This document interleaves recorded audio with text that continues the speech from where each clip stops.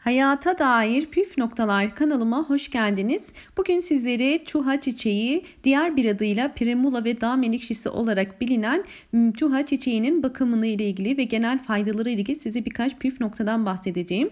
Çuha çiçeği aslında birçok rengi mevcuttur ve aynı zamanda bu çiçek bahçede, balkonda ve evlerimizde rahatlıkla yetiştirebileceğimiz bakımı aslında çok kolay ve bir o kadar da güzel bir çiçektir. Çuha çiçeğinin genel bakımına ilgili birkaç püf noktadan bahsetmeden önce size faydalarından bahsetmek istiyorum. Çuha çiçeği aslında çok faydalı bir bitkidir.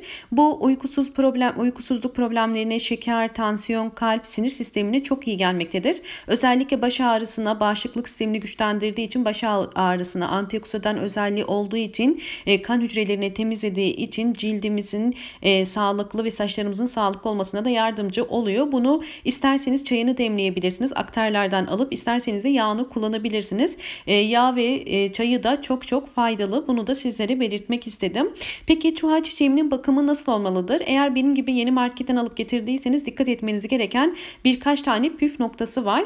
E, öncelikli olarak yeni aldığınız saksıların e, üzerinde nasıl e, kullanılması gerektiğine dair bilgiler mutlaka olmaktadır.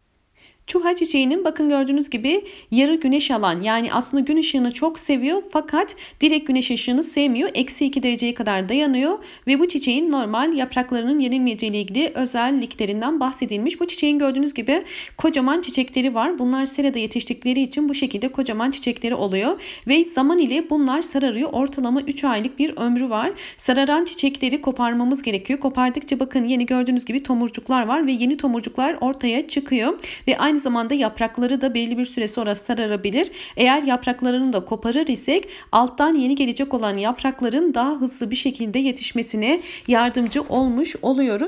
Bu çiçeği haftada bir sulamamız yeterli. Suya ihtiyacının olduğunu elimizi saksının içerisine koyduğumuz zaman eğer toprağı nemli ise su vermemize gerek yoktur. Fakat eğer kuruduysa su verebiliriz ve altında gördüğünüz gibi deliklerin olması gerekiyor. Verdiğimiz suyu süzmesi için bu çok önemli. Yoksa çürüyebilir yaprakları. Diğer önemli bir nokta ise yapraklarıdır.